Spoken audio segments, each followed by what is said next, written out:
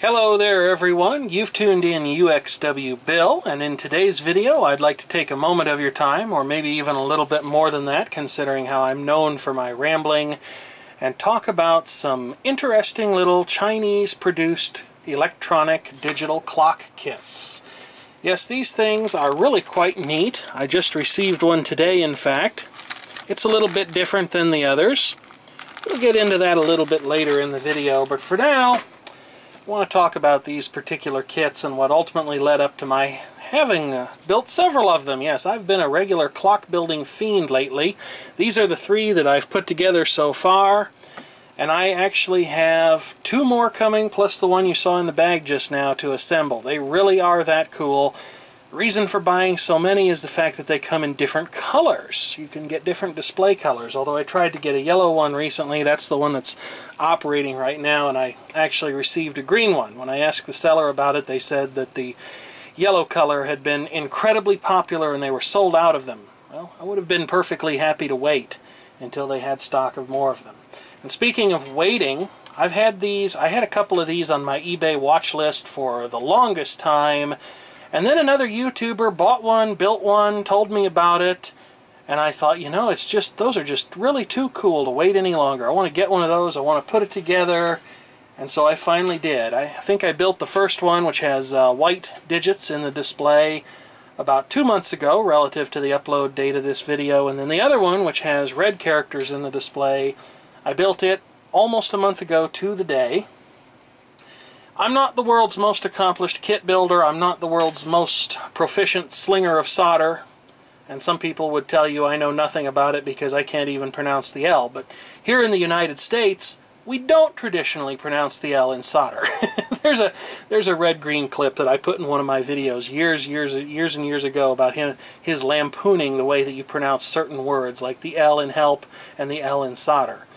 But I digress. I'm getting way off of the subject there. As I started to say, I am not the world's most proficient kit builder or slinger of solder. It took me about an hour and a half to build each of these clocks. First one might have taken two hours, but the time really hasn't changed a whole lot because I always go out of my way to be very methodical and careful when I'm putting stuff like this together. And that brings me to my next point. Although these are a fun little kit to assemble and they're not tremendously difficult, I mean, if you look at this, it's all through-hole stuff except for the battery holder. Come on, focus, Candy Ham, focus. Come on, get with the program. I don't know why this thing is so reluctant to focus these days. I don't know why it has that get lost attitude, but it, it sure seems to. I, I ought to go back to making videos in standard definition, because at least my standard definition camcorders, they would focus when you told them to. But like I started to say, there's nothing about these kits that's particularly difficult. But the reason why I wouldn't recommend them for someone who's just starting out, I wouldn't recommend this as their first clock kit, has to do with the way that they're put together.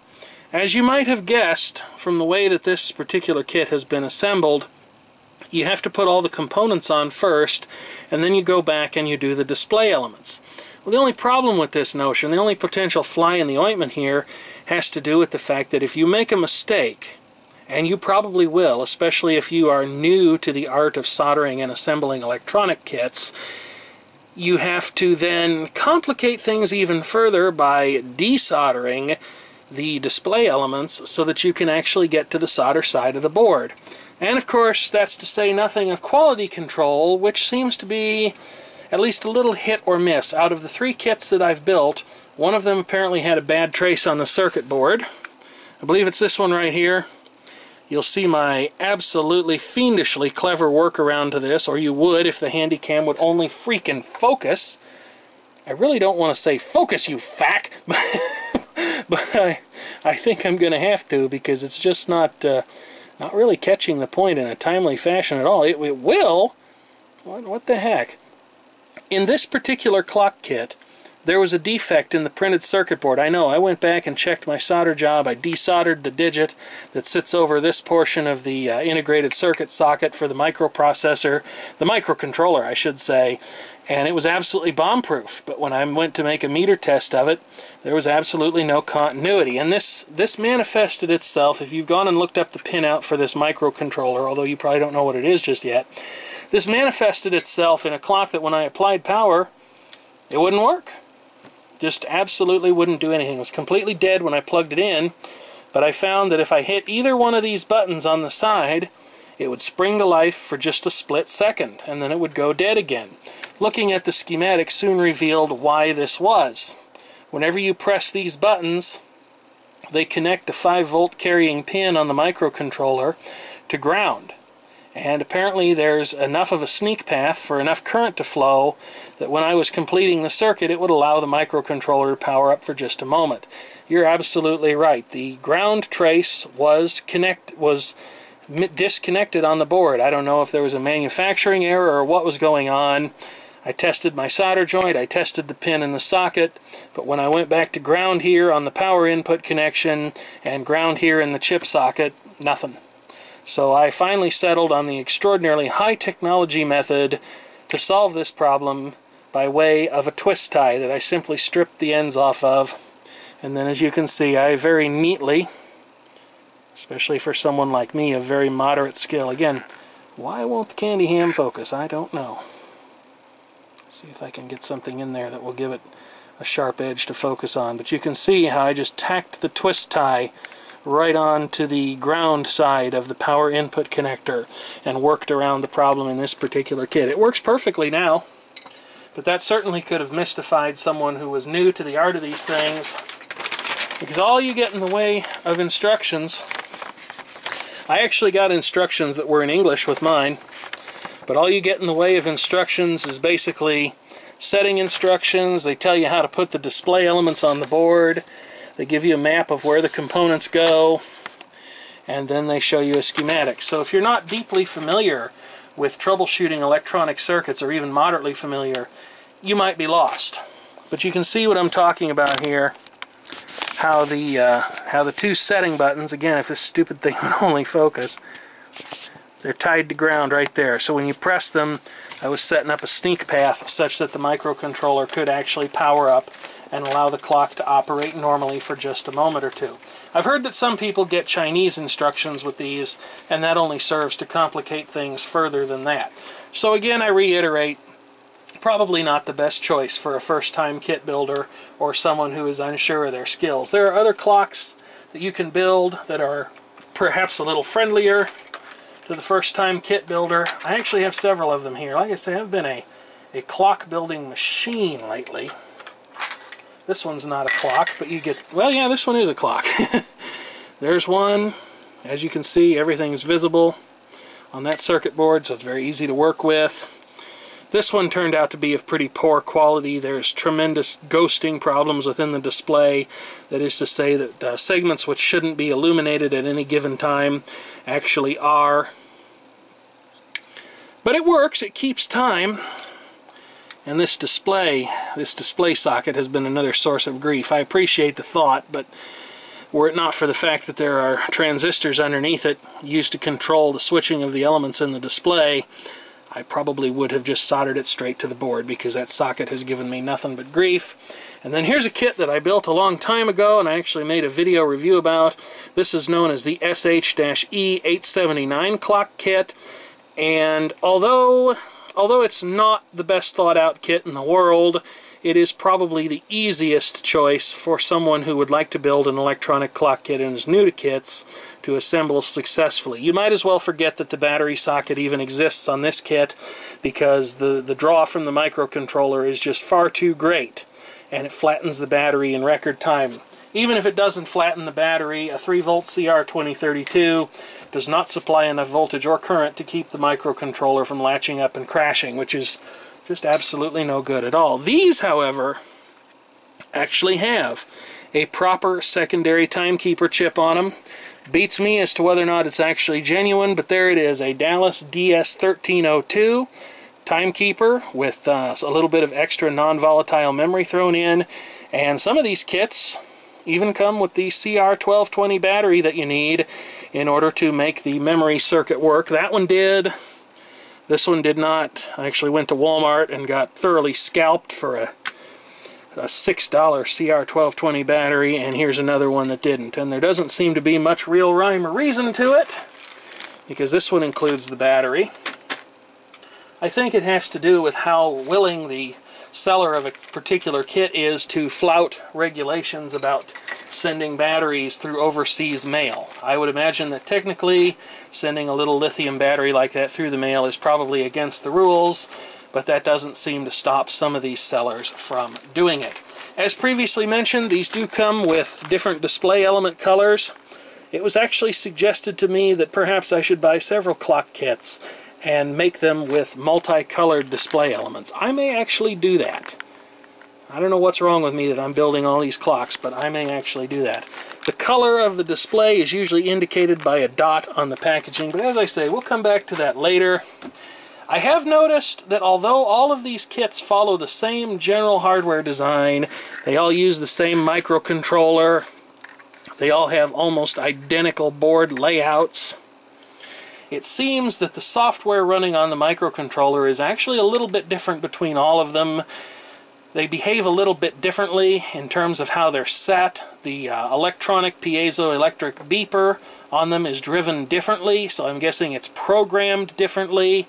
And there, there are other little differences, little nuances in each one as well. And I find that kind of interesting that all these kits come from anonymous Chinese factories somewhere. No doubt there are dozens of little factories producing these, and yet they're all making basically the same thing except on the software front. Now, nobody to my knowledge has been able to actually get a copy of the software that is used in these clocks, although people have asked and been turned down. I haven't personally tried it myself. I may ask the seller of the most recent clock I bought, this one right here, if they would actually send me the source code for the microcontroller.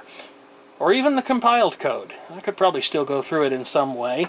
But even if I can't get the code, there are people online, I'm aware of at least two projects, where people have written alternative open sourced firmware for these clocks, adding features to them like the ability to choose 12 and 24 hour time, because by default they're 24 hour only the ability to select the temperature display as Celsius or as we would prefer here in the United States, Fahrenheit.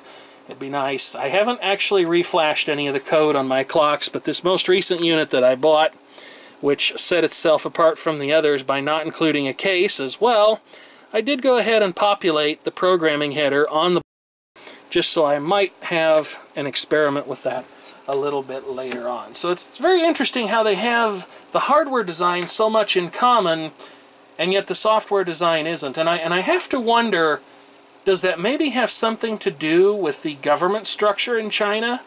You know, China is a communist country, obviously, and one of the key tenets of communism, although I am nobody's idea of a scholar when it comes to varying types of government, is the fact that everything is held in a, in a communal sort of way. Wealth is supposed to be distributed, ownership of businesses, property, things like that. I don't know how deep it runs because, like I say, I haven't studied it, but I wonder if that accounts for the hardware similarities here because it seems to me that establishing rights over intellectual property is something that the Chinese don't particularly like to respect to start with. I mean, look at all the counterfeit semiconductors out there but also wonder if that has to do with the government. I'm not trying to offend anybody. I'm very legitimately curious, and maybe we can expand upon that in the video comments area. So let's see, what else is there to say about these things? If you're going to buy one of these and build it, what you will probably get is a power cable that attaches to your computer's USB port.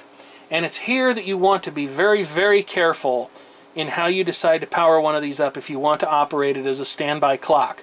I think the best thing that you could do would be to get yourself a high quality line voltage to USB port style power adapter from a reputable manufacturer and use that to plug in the power cable that came with your clock. That's the safest thing you can do as the microcontroller in these runs directly off the power input. There's no voltage regulation in place like there is with this SH-E879 clock that I talked about earlier.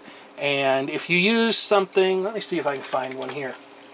I don't know that I have a, a linear power supply in hand with a line frequency transformer in it, but if you use something like that, the problem you can run into is the fact that most linear line line frequency transformer based power supplies, which you can usually tell because they're heavy. You know, line line frequency transformers are almost always heavy. They got a lot of weight to them.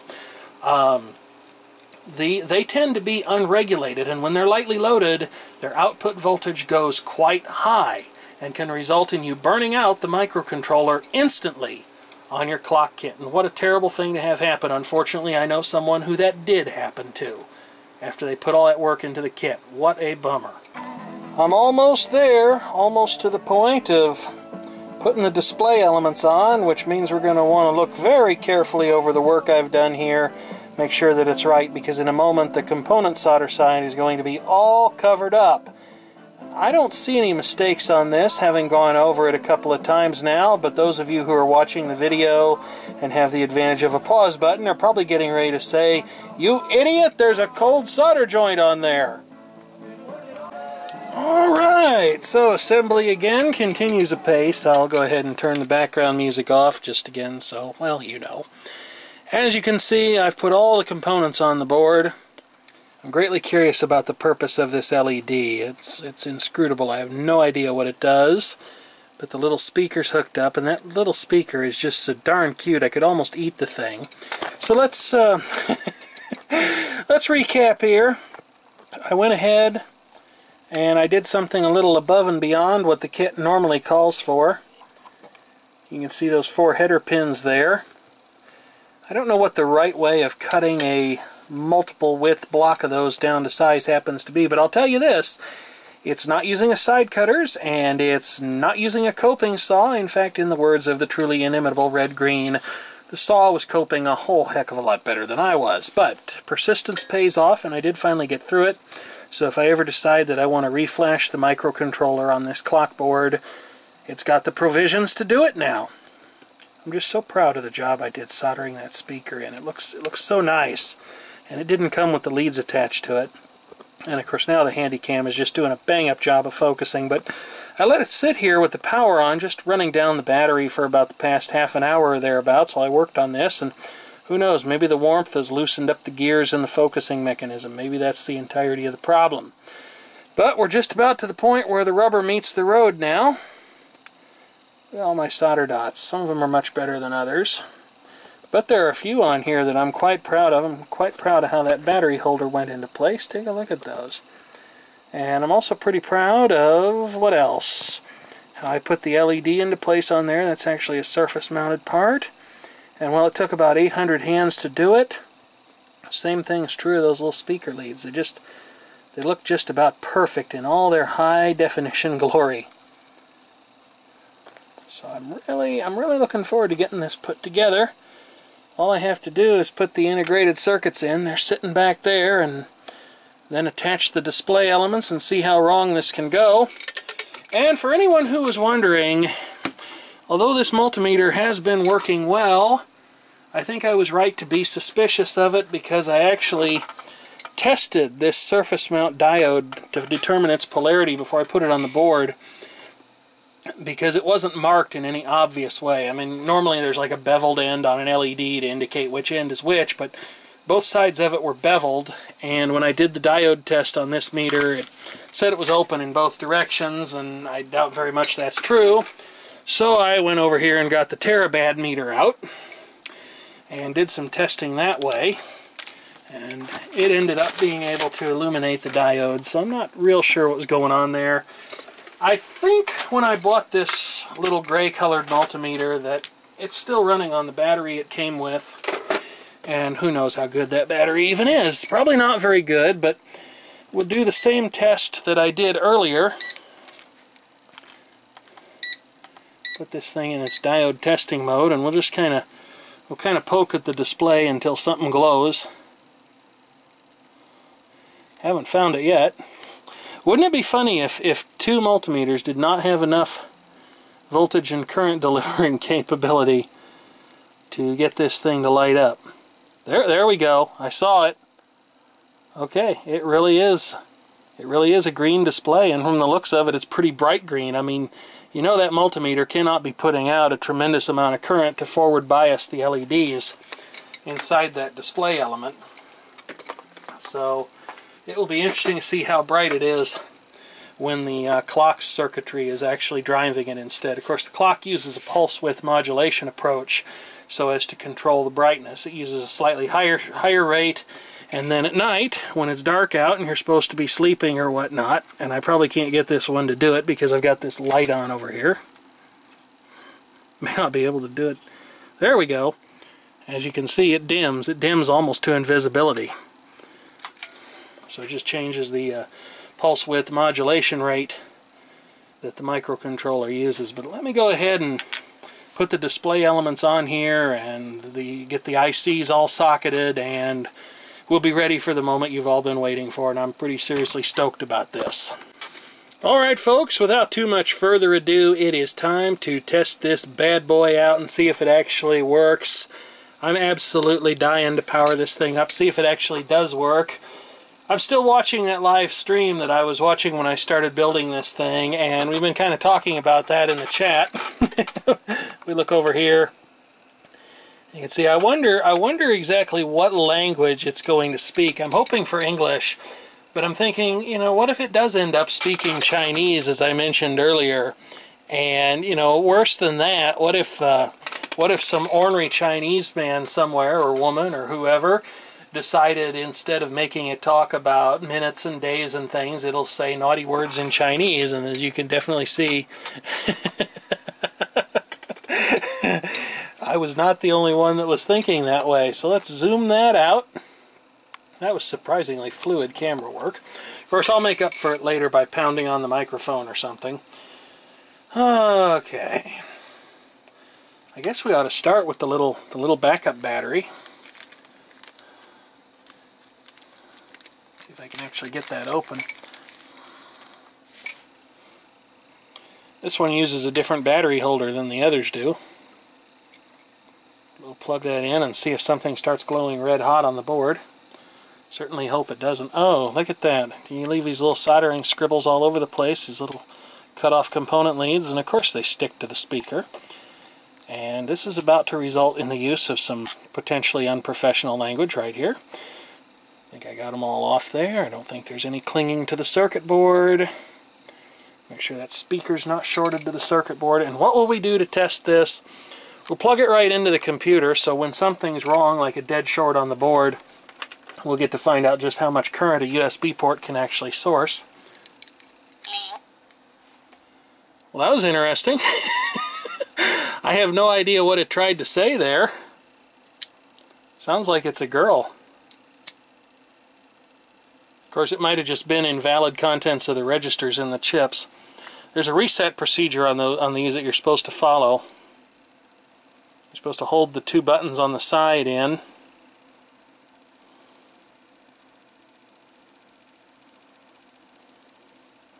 Maybe this one doesn't require that. Hmm, seems we have a bit of a problem in the display segments. Maybe I've got a, a dead solder joint there, and I have no colons in this in this either. That's two of them now. Yeah, there's there's definitely some issues here. I need to reset it. It's not quite initialized correctly. You can usually tell because it displays garbage. So maybe I'll have to read the instructions and actually figure, oh, that's right, the instructions are in Chinese that's not going to do me any good. So I'll play around with it for a little bit here. I need some time to think about this, obviously, and we'll see what I figure out. So, do you remember that part where I said in the video, check over all your work, make sure everything's ready for prime time? Well, I made a real big rookie mistake. And I'm sure some of you have beaten me to this point in the video about it in the comments, saying that I didn't solder in half of the Dallas Timekeeper chip socket. And it became fairly obvious when I started going over the thing, looking to see what I might have done wrong. I really thought that perhaps some of the uh, some of the microcontroller pins might have gotten folded over because sometimes when you insert a large dual inline package integrated circuit such as this one, it's easy to have a pin or two that gets folded over and, and that can really just gum up the works like no other. As I was gently levering this chip out of its socket with a bladed screwdriver, I noticed that the socket where the Dallas Timekeeper chip is contained tilted off to the side, just like that. It just tilted over, and I, and I just, I just did an instant face palm. I just, you know how that feeling of terror slowly gels over you? I mean, it wasn't anything like that bad. But the problem is, once you've put the display elements on, this, this thing's not easy to service. So I went and I got my higher powered soldering iron, and while I absolutely hate using this stuff, I've never had all that good luck with it. I don't know where my desoldering pump is, and my desoldering iron, I've had bad luck with those too. They work well, but they just don't seem to live very long before the heating element in them burns out, and I haven't replaced it yet, which might be a little bit difficult to do because I don't know if you can just buy those online from some anonymous happy Chinese seller. The ones I've always had were from Radio Shack. Anyway, the disaster's been averted. This thing's working just fine now. You can see the green display is actually quite bright. I wasn't planning on using this darkening film that goes over it, but I, I, may I may do that anyway because as I was handling this thing, a few of the display elements got a little bunged up. I couldn't get the top ones to desolder properly, but I got the bottom ones to desolder okay, and then I was just able to tilt it back just enough, almost like opening a car hood, just to complete the solder joints on that. And now I think that the non-volatile memory should be working because the battery's in place. Well, yeah, it, it remembered its time.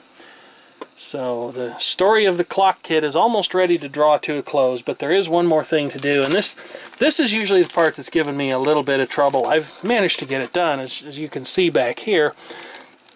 This case is particularly non-obvious to put together. I've done three of them now, and I'm not any closer to feeling proficient about it.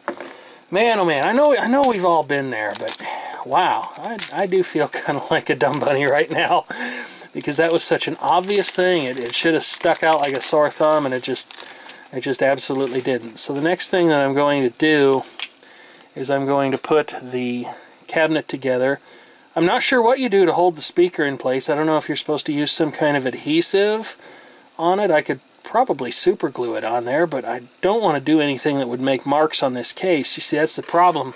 When you take this uh, protective paper off, the case is crystal clear. I've not been able to do this without tearing it either, but it doesn't doesn't really matter, although the speaker holes may be a real booger to get them all cleaned up. Maybe not. Maybe not so bad.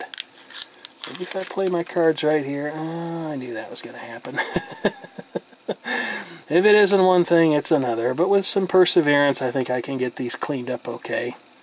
Although this is just some sort of plexiglass, which is the trademark, I don't know, acrylic, that's the general, that's the generic term for it. Although this is just some kind of acrylic, it does seem remarkably resistant to scratches, which is a good thing because when these clocks get a few miles on them, they're going to have a few scratches and things. But we'll see if I can get this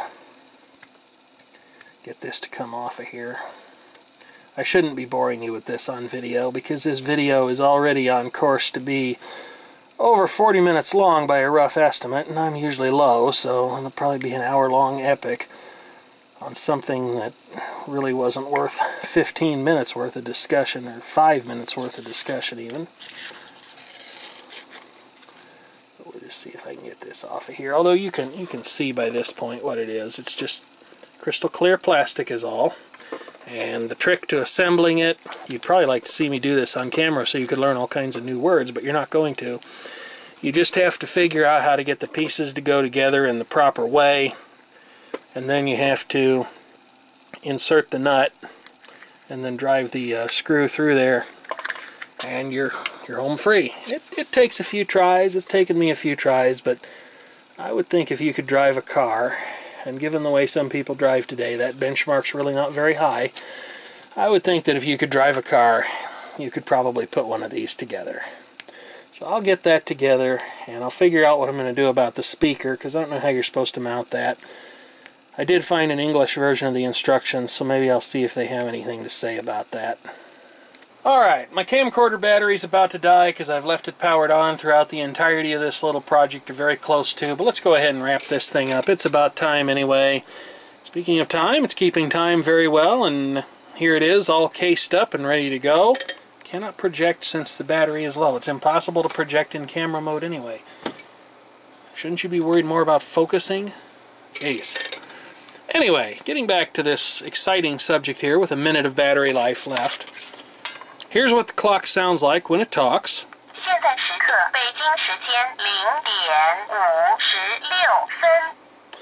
And at first I wondered if maybe it was just saying the same thing over and over again, but there are actually subtle differences in what it says as the minutes change. So it definitely is announcing the time, but I'm practically certain that it's doing so in Chinese.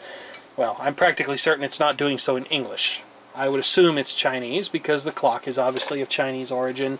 And it sounds like it might actually be saying something about Beijing. Perhaps the this is what the time is in Beijing or something like that. Because if we listen to Google Translate say Beijing, it sounds very similar to what the clock says. Beijing. 北京。现在时刻，北京时间零点五十七分。I've also noticed that when you plug it in, after it's been unplugged for a little while, sometimes you get a brief burst of nonsense from the speaker.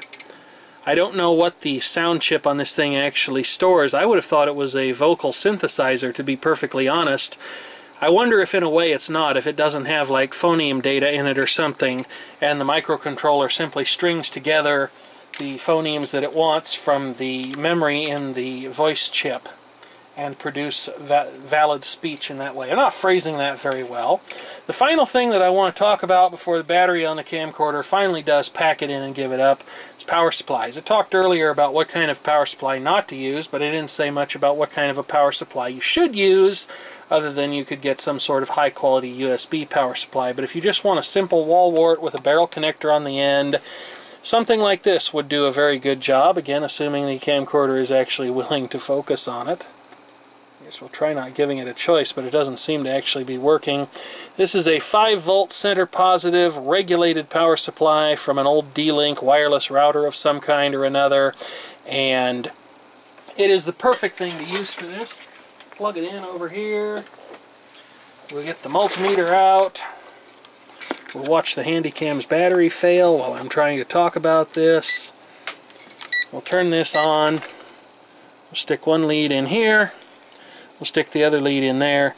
And this is the thing that's key. And you can perform this test on any power supply that you happen to come across. You'll notice the voltage is a little bit high unloaded. In fact, it's a little bit higher than I would like to see, but it's not massively higher. It should be well within the microcontroller's safe operating area and avoid blowing it up, especially when it actually begins to have some meaningful load on it, because the multimeter is essentially no load at all. You also want to make sure that the polarity is correct. Every one of these I've built so far has been wired center positive, and there's usually a legend on every power adapter that tells you how the polarity is arranged. So make sure you have it correct. If you're going to do that, in fact, we'll disconnect the USB cable and we'll plug in that power supply, and as you can see, it works fine. So, thank you for watching if you stuck it out this far. Unfortunately, I don't have a prize for you, but it is certainly appreciated, and as always, I certainly look forward to hearing your constructive commentary. Somebody just tweeted in the hour. I think that was the bare Green one in the back, because I still haven't turned the hourly chime off. But as I said, thank you for watching, and certainly do feel free to leave a comment if you happen to have one. Video bonus time! I realized when I was making this I forgot to mention two things I was very interested in talking about. First of all, if there's anybody out there who watches my videos and happens to speak Chinese in any capacity, I would be greatly appreciative if you might consider offering a translation of what the clock says, because I would be exceptionally curious to know. I also realized that I forgot to talk about the purpose of the LED on the back. It serves as a very bright form of nightlight. You turn it on by simply holding down the speech button for a couple of seconds.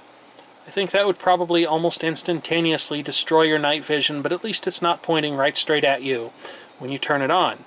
And as for how I mounted the speaker, well, it's a bit of a delicate ballet.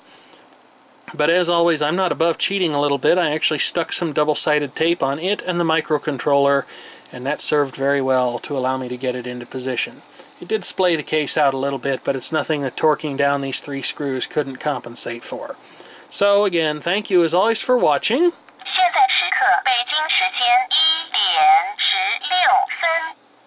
And please leave a comment if you have one. Good night, Irene. Good night, Irene. I'll see you in my dreams.